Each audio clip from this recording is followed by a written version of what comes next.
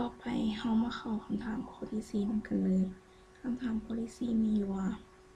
นกตัวหนึ่งบินอยู่อากาศเหนือหน้าน้ำ15สันติปลาอยู่น้ำลึกจากหน้าน้ำ20สันติจงคิดไล่เบิงว่าปลาและนกจะเห็นกันและห่างกันเท่าใดถ้าพวกมันวนแต่เบิงสื่อ ถ้าคำถามเราสามารถแต้มได้คือ ดังนี้เนาะมีนกตัวหนึ่งบินอยู่เทิงอากาศแล้วแนบิ่งป่า ที่อยู่ห่างกัน ซึ่งว่านกอยู่ห่างจากนาน้ำแมน15สันติและป่าห่างจากน้ำอยู่ลึกจากนาน้ำแมน20สันติและ พวกมันจะสามารถเห็นกันเท่าไหร่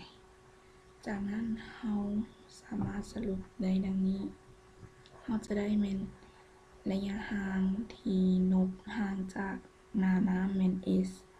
ของนกเท่ากับ 15 สันติ s ของปลาเท่ากับ20สันติและเพื่อนให้สอบหาระยะห่างของพวกมันทั้งสองว่า มันห่างจากกันเท่าใดคือเมื่อกรณีที่นกเบิงปลาและปลาเบิงนกเนี่ยเข้ากรณีที่หนึ่งคือเมื่อนกเบิงปลาเขารู้ว่า n หนึ่งก็คือน้ำแมงสภาพแวดล้อมที่หนึ่งนี้เท่ากับ4ส่วน3และ n สองจะเท่ากับ1และมี s ของปลาเท่ากับ20สันติ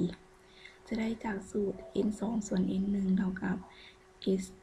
ขีดส่วน s ถอนเอา s ขีดจะเท่ากับ n 2คูณให้ s ส่วนให้ n 1เมื่อเราถอนสูตรออกแล้วเราแทนค่าใส่เลยและเราจะได้ s ขีดของนกก็คือ 15สันติเมื่อ เราได้ระยะห่างที่ว่านกสามารถเห็นป่า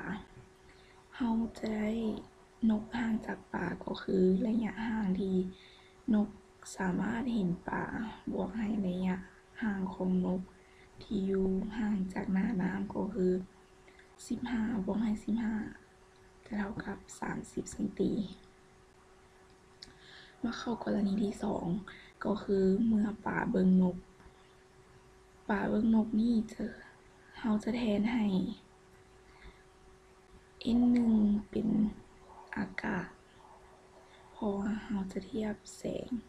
ที่ป่าที่นกเนาเอาไปจากนกมาใส่ตาของป่าเราจะได้ n หนึ่งเป็นอากาศเท่ากับ1 n สองจะเท่ากับ4ส่วน3และระยะห่างของนะ ของนกหาหน้าน้ำเป็น15สันติเราใช้จากสูตรเดิมก็คือ n 2ส่วน n 1เท่ากับ s ขีดส่วน s และเราจะถอนหา s ขีดของป่า จะได้เป็นดังนี้และแทนสูตรเขาเลย จะเท่ากับ20สันติ จากนั้นเราแทนค่า s ขีดของป่า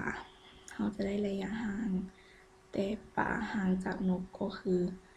20บวกให้20จะเท่ากับ 40 ฉะนั้นข้อนี้เราสามารถสรุปเลยคือว่า นกห่างจากป่านี้จะเท่ากับ 30 สันติและป่าอยู่ห่างจากนกเมน 40 สันติสำหรับข้อที่ 4 ก็หมดเพียงเท่านี้